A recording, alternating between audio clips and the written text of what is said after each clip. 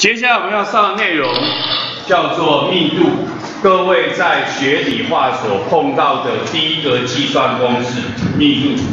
密度就就是物质密集的程度，啊，密集的程度。平常的口语上说这个东西比较重，这个东西比较轻，讲的不是重量或者是质量。啊，我们说棉花比较轻，铁比较重，这个轻跟重指的是什么？密度。否则一公斤重的棉花当然比五百克重的铁来的重啊。所以这个不是指的真正的重量，而就指的密度，物质密集的程度，也就是在相同的体积之下，谁的质量比较多。所以它就是一个比值，所以单位体积内含有的质量，所以它就是一个质量跟体积的比值，就是各位在数学上所学过的。你在数学上学过那个比值的想法，在理化中很多很多地方都出现，比如说浓度，浓度也是个比值嘛，对不对？溶质跟溶液的比嘛，糖在糖水中的比，所以都是你们在数学上所学过的比值的观念。质量跟体积的比值就称之为所谓的密度。那公式又长这样啊？那我们等一下会再复习一次。我曾经跟各位讲过了，什么叫做把公式背起来？还记得吗？我们讲过，提示过几个重点，比如说要知道中文的意思啦，比如说要知道代号的意思啦。这个我们等一下会再说一次。那么公式你们平常都喜欢背，d 等于 v 分之 m，要晓得什么叫 v，什么叫做 m，好，什么是 v，什么是 m，要弄清楚。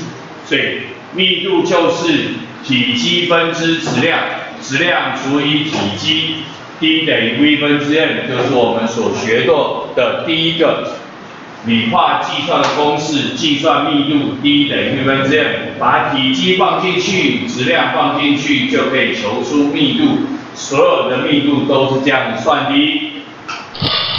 那么我们考什么呢？一种叫做考观念，不用计算，想法观念。第二种就是要用到计算，就考公式 d 等于 v 分之 m，啊，告诉你体积，告诉你密度，求质量。告诉你质量，告诉你密度求体积，诸如此类。再就是考图形、考表格，这跟考观念是类似的。但是呢，就是看图形、看表格，你就会把答案算出来了。这个是我们会考中喜欢考的一种题型，就是你不需要去有什么特别的理化知识。你只要看得懂图形，看得懂表格，答案就会弄出来。只要图表的解读能力，这是一个在很多地方都会用到的，都会用到，都会拿来考，在各式各样的拿来考，考图形，考表格。那我们有什么密度的观念呢？第一个就是定温之下。密度是定值，纯物的密度。为什么要讲定温？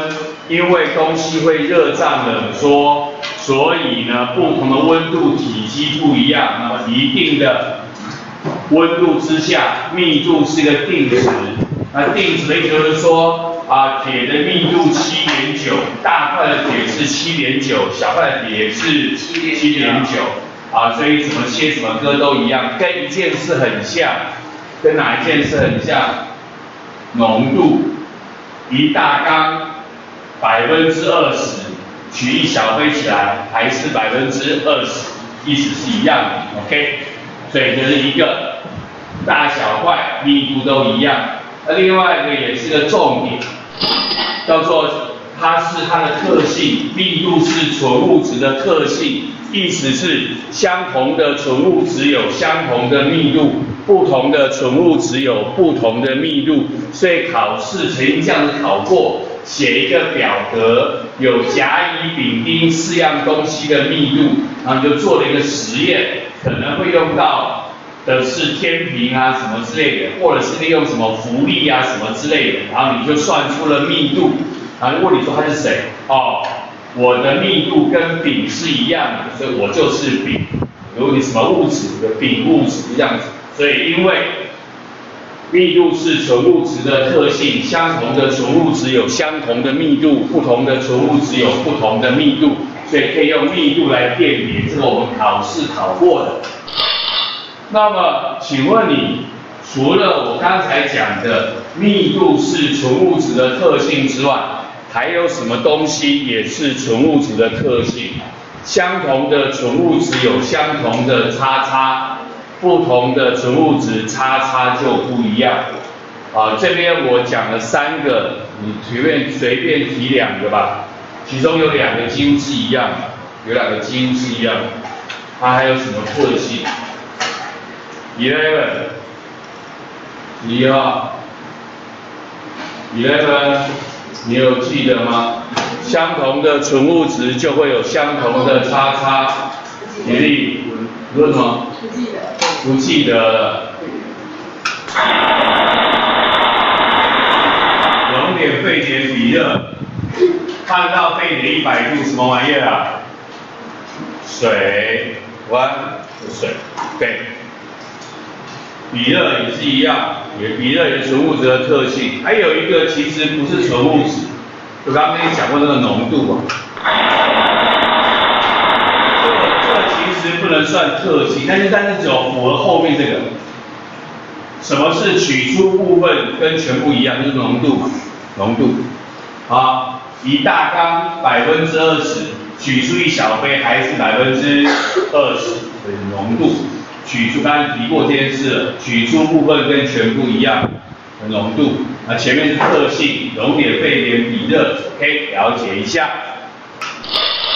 我们密度还有一个观念就是体积跟质量成正比，就是它就是体积跟质量的比值叫密度，所以体积变两倍，质量也要变成两倍，简单小事情。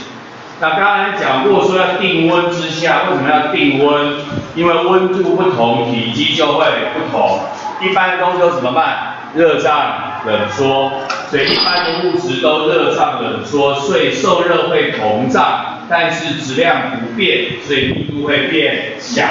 啊，遇冷会收缩，遇冷会收缩，然后它就体积就会变小，密度就会变大。但是水有异常现象。你还记得水有什么异常现象吗？你还记得我们会不会教啊？但是你还，我现在问你，你还记得水有什么异常现象？我教过还有两个异常，你还记得吗？问问你自己，你还记得水有哪两个异常现象吗？我们后面再提到它。所以水不是单纯的热胀冷缩，不是单纯的温度升高，体积会。变大密度就会变小，不见得。那这个是另外一个重点，水的异常现象，就是有关于密度的一些观念。那我们考试会考观念了，OK 吗？OK。